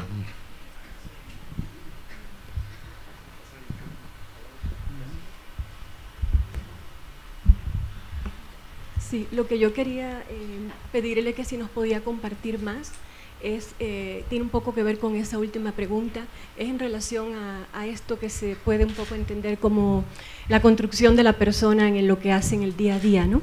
Eh, usted ha logrado unir su actividad, digamos, profesional con esa especie de compromiso por mejorar el mundo en que vivimos, ¿no? en la práctica con, con, con cada persona. Nosotros somos profesores y nos dedicamos justamente a este trabajo de la formación humana. ¿no? Eh, yo quería preguntarle si, es posible hoy separar algo de lo que nosotros hacemos en la vida, en esta sociedad, de este sentido de obligación por el estado de cosas en que vivimos, este sentido de obligación incluso con una comunidad que más allá de estar hoy reunida con usted aquí conversando eh, en, una, en una acción formal, digamos, pueda llevar al día a día realmente eh, esta preocupación más allá de un lamento, más allá de un dolor, en cada una de las cosas que hacemos, ¿no? Este, que el tema de la pérdida de la vida, de la dignidad de la vida, en una comunidad incluso que tiene estudiantes, que tiene padres desaparecidos, eh, puedas convertirse en algo fundamental para cada uno de nosotros y no pensemos que esto lo tenemos que hacer como una acción formal, este, casi épica, de hacer comité, de hacer movilizaciones, sino en esta acción personal donde dar una clase sea también preguntarse por qué, cómo podemos acompañar hoy esta vergüenza pública en la que un Estado trata de parar eh, la, y decir que es una verdad histórica eh, el tener que creerle a los asesinos eh, y, que nuestra justicia esté en manos de los sicarios de México. ¿no? Entonces, este, era, era eso. ¿Qué hacer? ¿Es posible separar nuestro día a día, nuestra práctica académica y humana de nuestro, nuestro estar en el mundo y nuestro incidir en esta transformación hoy que se pide para las personas como seres humanos? Eh, una más, no se les olvide decir su nombre, por favor. Me llamo Ileana. Gracias. Gracias. Yo digo porque el padre lo contesta de manera individualizada. Hola, buenas tardes, soy Nayeli eh, y muchas gracias por estar aquí. Soy estudiante de humanidades y mi pregunta es, habla usted sobre que no es partidario de la violencia y, y lo entiendo, pero como decía hace rato un compañero, el portarme bien o el ser un mejor, intentar ser un mejor ser humano y una buena persona, pues no le va a regresar la vida a los 43 compañeros, ¿no? Entonces me pregunto, en este camino hacia la conciencia, en este camino hacia que todas las personas eh, realmente seamos conscientes y críticas, eh, ¿qué hacer si nos siguen desapareciendo, si nos siguen persiguiendo, si ponemos la otra mejilla o, y realmente, ¿no? O sea, preguntarnos, ¿es violencia? Porque sí, soy consciente y vengo a la universidad y tengo pues eh, la oportunidad de, de, estar en esta casa de estudios y de venir a estas conferencias, pero allá afuera esa conciencia no me va a defender, esa conciencia no va a evitar que me violen, que me maten o que si voy a una marcha me encarcelen, ¿no? Como todos los presos políticos que tenemos en México y en todas las partes del mundo. Entonces la pregunta es, ¿es realmente violencia o se podría llamar también como defensa o autodefensa?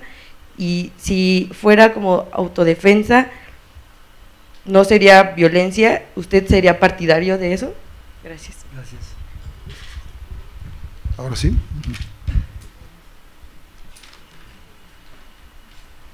Ya se acabó la libreta, don Alejandro.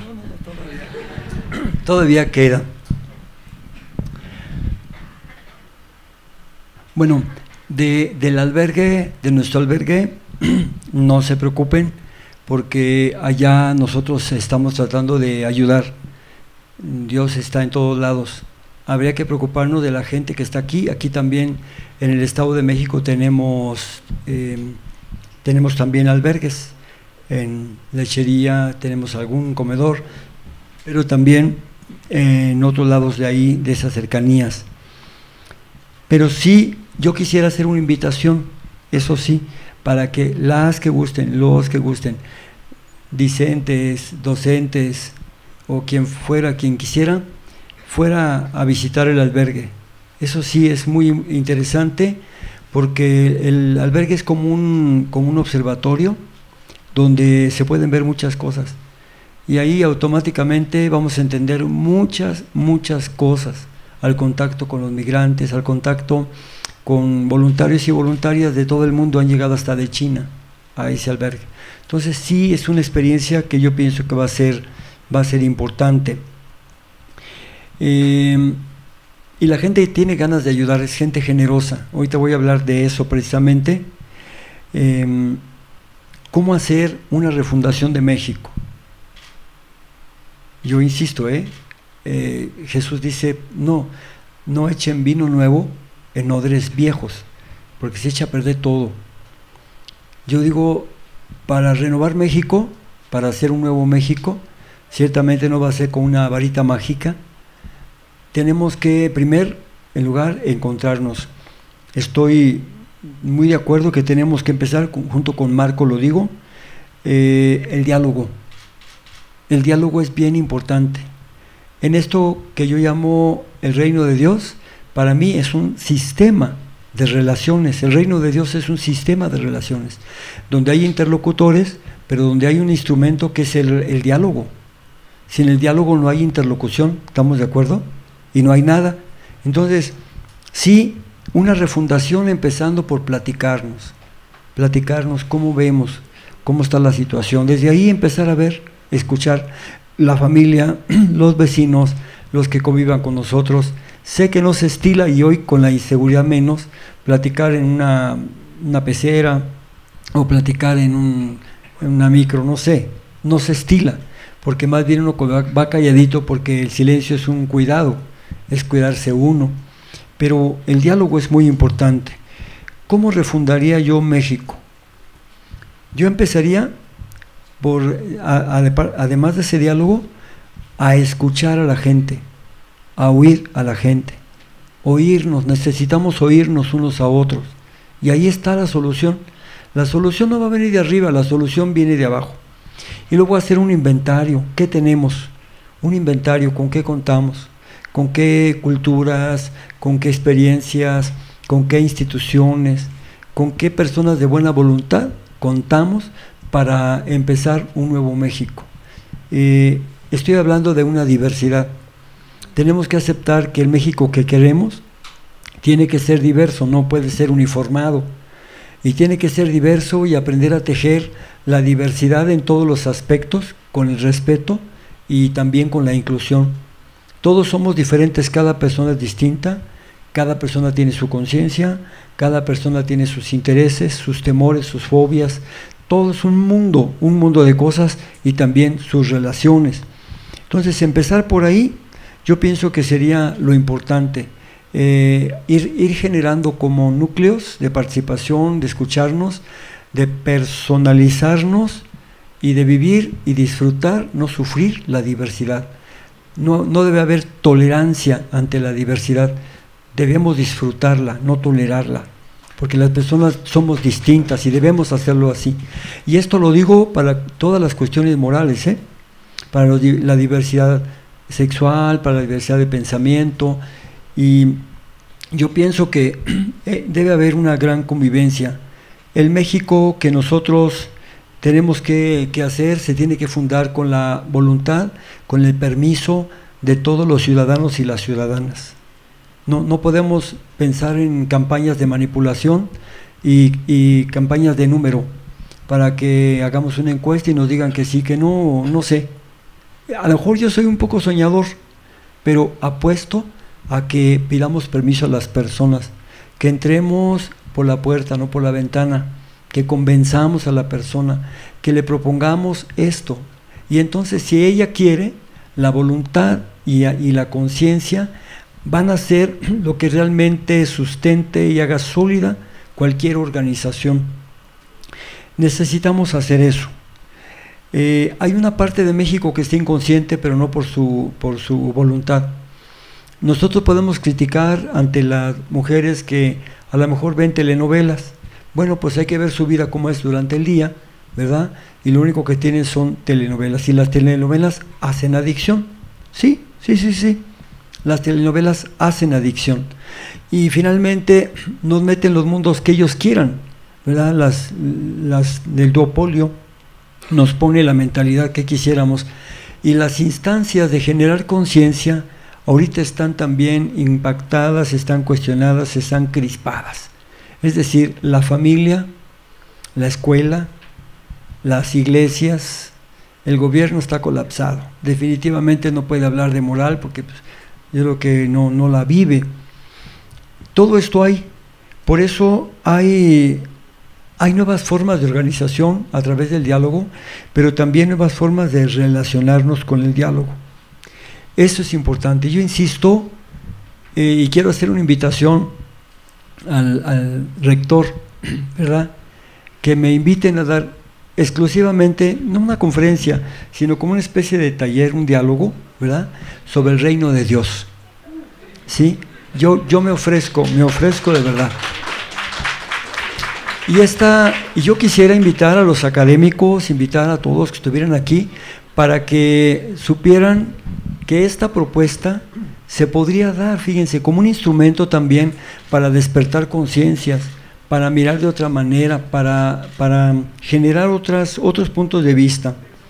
Hace un momentito me preguntaba alguien, me preguntaba cómo se va a enseñar a Jesús con la vida. A Jesús no se le puede enseñar con rollos, ya con discursos, con doctrinas, esa cosa no. Ya están llenas las, las iglesias de predicaciones, de sermones, homilías, como quieran llamarles, y también los templos están también llenos de, de explicaciones y de lecciones. Lo que necesitamos es realmente vivirlo. Sí, eh, hay que contribuir en las cosas pequeñas y hacer bien lo que hacemos. Una gran revolución sería hacer cada quien lo que tiene que hacer y hacerlo bien. ¿Saben por qué muchos eh, hacen poco y por qué pocos hacen mucho? Porque cada quien no hacemos lo que nos toca, porque hemos perdido la vocación, porque lo hacemos por dinero, lo hacemos por otra cosa, hemos perdido motivación. No, no tenemos gusto por hacer lo que hacemos como un servicio al otro. No nos sentimos orgullosos del trabajo que hacemos. Es una chamba, y le hemos degradado a chamba porque ya ni siquiera es comisión, mucho menos misión. Entonces, sí es importante hacer las cosas pequeñas, lo que cada uno tenga que hacer, pero hacerlo bien hecho. Y yo pienso que en esa forma vamos a incidir en la sociedad una nueva cultura de ver las cosas de otra manera. A Nayeli yo le diría, ciertamente hay violencia de la no violencia, ¿sí? Eh, yo no sé si esta violencia sea más incisiva, porque es como un cuchillito de palo, ¿verdad? Ya saben cómo, ¿verdad? Estar eh, bregando. Y esta, mm, la violencia de la no violencia refleja y da a conocer realidades que otros no dicen. La verdad es incisiva, es molesta, peca, no peca pero incomoda. Y yo pienso que el hecho de estar hablando las cosas, visibilizándolas, organizándonos, eso es, es mucho más fuerte que estar haciendo violencia, porque la conciencia sola es un paso. Yo, yo mismo pongo este ejemplo volviendo a Jesús, ¿no?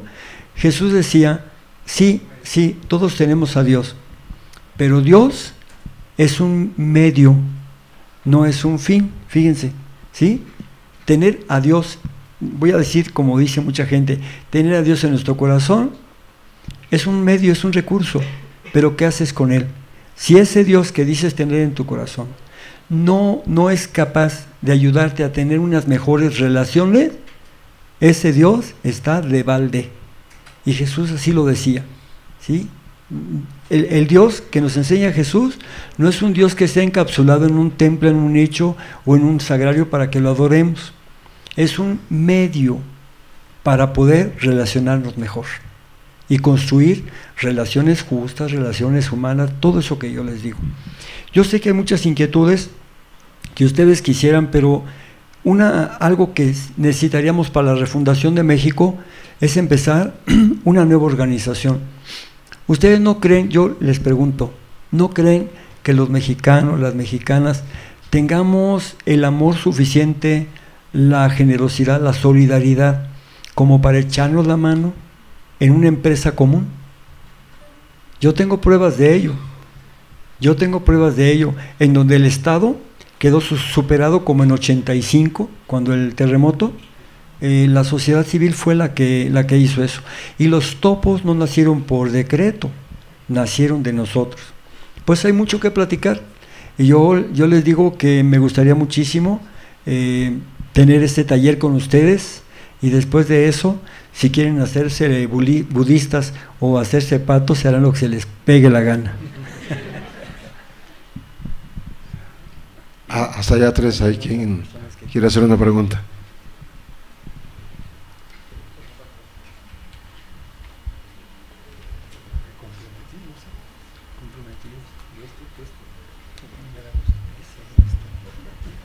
Buenas tardes, mi nombre es Uriel y antes que nada quisiera agradecerle por el tiempo que nos ha brindado y quisiera hacerle una pregunta, más que nada un consejo. Usted se considera agitador de, agitador de conciencias. ¿Usted podría darme un consejo en qué hacer para despertar a la gente?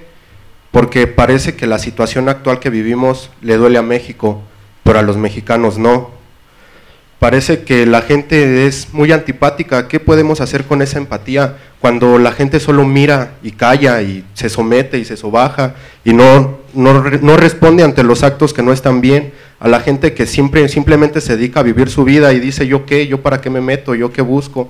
¿Cómo convencer a la gente? ¿Cómo guiarla? ¿Qué venderles? Porque parece que les estamos diciendo que vamos, que tomemos un camino cuando no tenemos ni el rumbo definido ni el destino definido. Dice, ¿cómo mantener a la, gente despierta? ¿Cómo convencerla de que sí se puede cambiar esto para bien? Yo creo en mi persona que cuando uno tiene la razón de su parte, de su lado, más bien, no es necesaria la violencia. Y simplemente quisiera pedirle ese consejo, cómo, cómo convencer a la gente, porque en verdad que yo en mi vida diaria y en varias partes de la República, no solo aquí, me ha tocado ver gente, y la mayoría, la gran mayoría, que son muy antipáticos ante lo que está sucediendo en el país y les vale y ellos lo aceptan, dicen yo a mi trabajo, yo a lo que me dedico y yo no puedo hacer más. ¿Cómo puedo convencer yo a esa gente? Muchas gracias. Sí, aquí hay una mano levantada.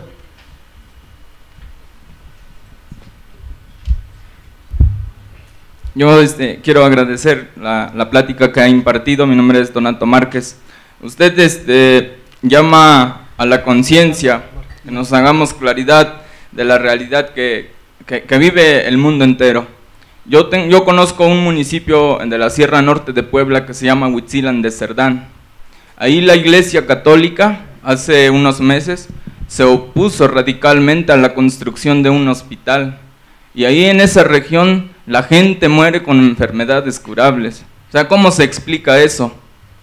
Y la otra es este, que una vez, eh, porque hay mucha gente que sí sabe, que conoce la realidad o que está convencida o que está consciente de las cosas, pero yo digo que no basta, porque ya lo decía, o me acordé de un, pasaje de la obra de Don Quijote, cuando Sancho le reclama la, imprudencia de atacar el rebaño de carneros que le tocó perder casi todas las muelas, y recibe la siguiente respuesta demoledora de su amo, sábete Sancho, que un hombre no es más que otro, sino hace más que otro.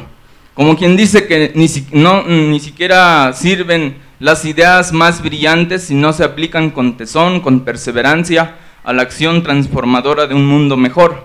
Y mi la otra pregunta, o mi pregunta sería, si usted conoce que, o hay algún caso aquí en nuestro país en particular, sobre alguna organización que tenga un programa verdadero, pero de cambio social, que, que no solamente sean este, parches, como usted dice, sino que haya cambios verdaderos en materia política, en materia económica, en materia cultural.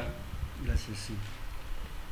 Bueno, de momento no hay ninguna ninguna mano levantada. Yo aprovecho para meter mi cuchara porque no quería yo balconear al padre Solalinde, pero el otro día le preguntaba en una conversación, digo, ok, la gente está furiosa, está indignada, eh, estamos crispados como sociedad, estamos encabronados, les decía yo, todos, por lo que ha pasado, digo, para no mencionar sino a Tlatlaya y, e Iguala.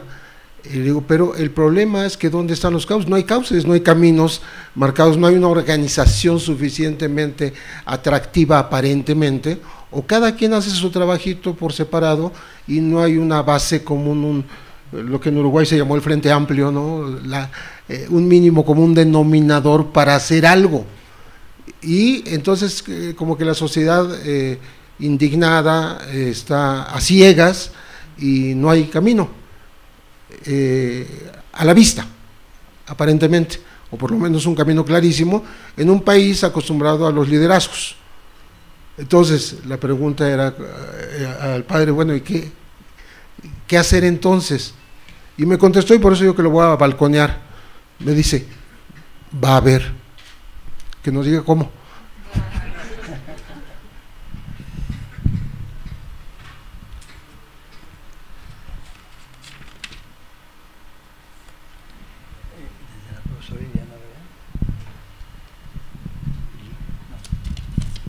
Bueno, para Uriel, híjole, ¿cómo, cómo despertar la conciencia? Lo importante, fíjense, uno no va a convencer a nadie, yo digo que uno no va a despertar a nadie si uno mismo no está convencido. Es importantísimo. Mm, van a ver cuando, ya, ya me dijo este, nuestro rector Eduardo, que a lo mejor sí va a ver lo del taller sobre el reino de Dios. Sí, y este, pero fíjense que no, no puede haber, yo digo, eh, nada si uno no está convencido. Uno tiene, tiene que estar convencido. Pero, ¿cómo estar convencido, eh, Uriel? ¿Cómo estar convencido de uno mismo ante esta, mm, este universo de cosas? Parece todo como muy relativo, a quién se le va a hacer caso, quién tiene la razón, cómo vivir, qué valores. O sea, estamos todo eso. Si tú pones orden en ti mismo y estás convencido de ti mismo, tú vas a convencer y vas, vas a lograr eh, impactar en la conciencia de las personas. Si no, no va a pasar nada. Para que se haga clic, necesita eso. El reino de Dios se hace con interlocutores, pero los interlocutores no solamente son quienes usan como, como símbolo, como como medio del diálogo la palabra. También está la vida, también están eh, las actitudes, están los hechos, ¿sí? Los hechos es como una interlocución. Una persona puede que no conozca físicamente a otra, pero se entere de lo que está haciendo y entonces hay ahí una, una interlocución implícita, indirecta. Hay una relación ya que convence a la persona. Entonces lo primero es, es eso. Primero, que estés convencido tú y que tú te llenes de contenido. Llénate de contenido, tienes que tener un referente, tienes que tener algo. Yo les digo, pues malamente que uno hable de uno, pero, pero sí yo soy un sacerdote diferente pero también una persona diferente y original. ¿Y saben por qué? Porque para mí, yo sí tomé como referencia a ese joven que es original, Jesús, y para mí me ayudó a entender muchas cosas y a ser original por fuera y por dentro. Aún mis defectos, aún son parte de mí mismo, de mi originalidad, y yo los acepto. También Donato, pues ahí, ahí va a haber cerrazón eclesiástica donde quiera, vamos a encontrar sacerdotes abiertos, otros no, tan abiertos, pero hay que, acordar, hay que acordarse que, que la iglesia pues ha sido también una instancia de poder, los sacerdotes los forman para eso, todavía lo siguen formando para ese estatus, ¿no? El obispo igual, pues tiene que ser un obispo.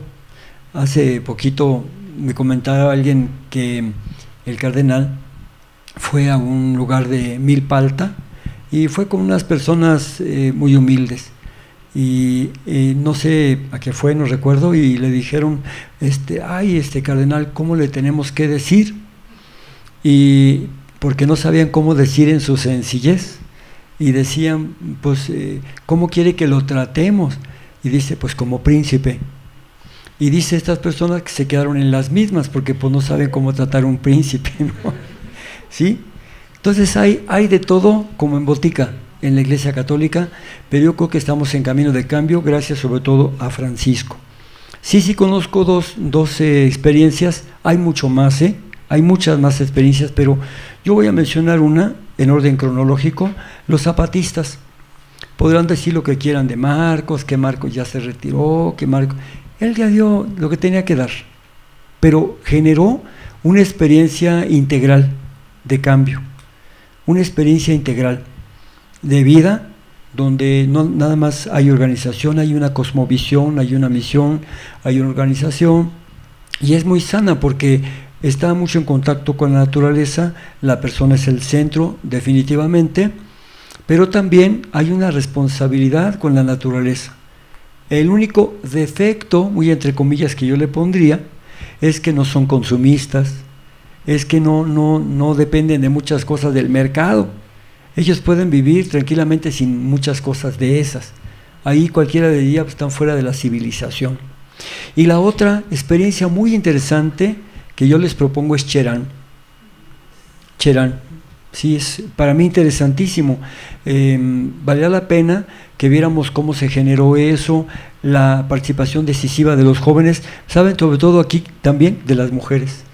Eh, hay una, pregunta que yo no contesté y les ofrezco una, disculpa, eh, que me la hizo Marco, creo. Me dijo, no sé si Marco o, o tú no me acuerdo de tu nombre.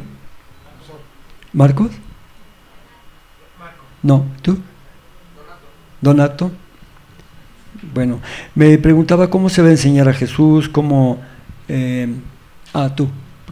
¿Eduardo? Bueno, ¿cómo, ¿quién lo va a enseñar? ¿Cómo lo va a enseñar? Bueno, precisamente, fíjate que se hace pues a través de, de mm, organizaciones, a través de vivir los valores que nos piden. Yo pienso que es ahí. Y Cheran hizo algo muy importante. Las mujeres se organizaron las mujeres fueron las que llevaron propiamente una buena parte decisiva ya en las últimas etapas, en donde dijeron no van a llevarse más madera, ya basta de rentas, ya basta de todo y vamos a organizarnos de otra manera.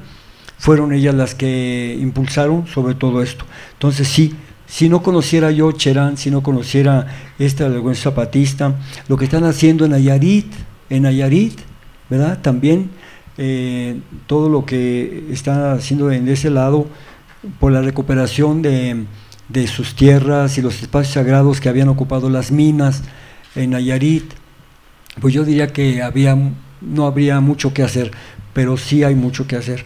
Por eso les decía yo que para refundar México no vamos a inventar el hilo negro, no vamos a empezar desde arriba, vamos a ver qué tenemos. Recuerdo cuando un día este joven Jesús se había pasado enseñando muchísimo tiempo, una jornada muy larga, y los discípulos, ¿verdad?, que no habían aprendido nada, porque les salieron tapaditos como ellos solos, de verdad, no, sí, de verdad, empezando por el tal Pedrito, ay, qué, qué trabajo le costó a Jesús, de verdad. Le dice, oye, ¿sabes que ya, ya han pasado mucho tiempo? Ya despáchalos, ya córreles, córrelos para que vayan a comprar alguna hamburguesa o algo, ¿no? Y le dice, ah, sí, pues denles ustedes de comer. Y no quiso que fueran. Bueno, este joven Jesús se puso a enseñarle largamente y encontró una nueva organización. Le dijeron, pues mira, aquí está difícil, no hay más que un muchacho, o bueno, quien sea, que traía unos panes y unos pescados. Pan y pez era la comida eh, común y habitual de los pobres pescadores en Cafarnaú. Ah, caray, entonces, ¿cuántos tienen? Dice los evangelistas, cinco panes y dos pescados. Obviamente es un símbolo. ¿sí? Traían su comidita guardada. Claro que la traían y era comida diversa, por eso eran panes y eran pescados. No eran puros panes ni puros pescados. Son símbolos. Y bueno, está el 7, que es el símbolo de la, de la plenitud. Y entonces juntaron lo que tenían, juntaron y alcanzó y sobró. Por eso les digo, sí se puede, eh, sí se puede, eh, pero teniendo un referente, sí se puede.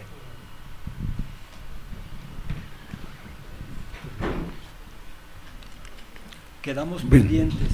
Eh, les agradecemos muchísimo su presencia, su interés, su participación, su forma de ver esto con, con la bondad normal de un diálogo eh, y que eh, la generosidad del padre Solalinde por contestar. Un aplauso, sí. Gracias.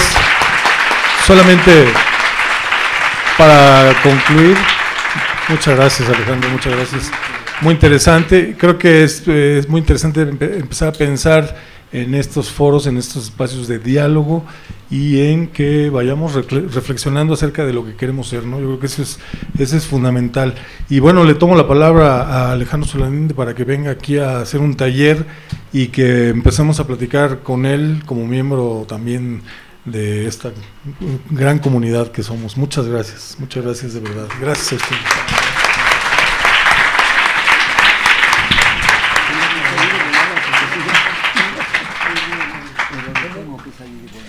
Muchísimas gracias. ¿Cómo nos comunicamos? ¿A través de.? No, no, te doy una, una tarjetita. Sí. Nada más aquí, acuérdate, no tiene aquí puntos Alejandro sin punto, ¿eh? Ok. Yo no traigo tarjetas, pero yo no, no te preocupes. Sí, sí, si no te preocupes, por medio de Muchísimas gracias. Es muy bien. Encantado de estar Gracias. Gracias.